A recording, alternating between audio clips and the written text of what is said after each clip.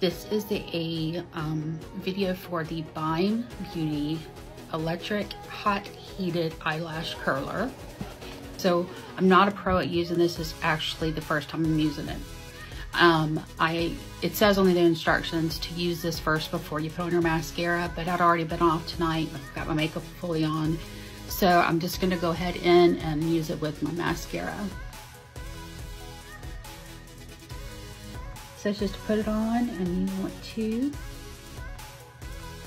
have very short eyelashes so I'm constantly getting my chub. Three to five seconds, one, two, three. All right. Let's do this one again because then I want you to see the difference, if there is a difference.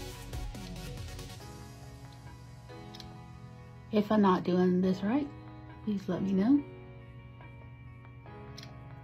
Okay. Can you tell the difference?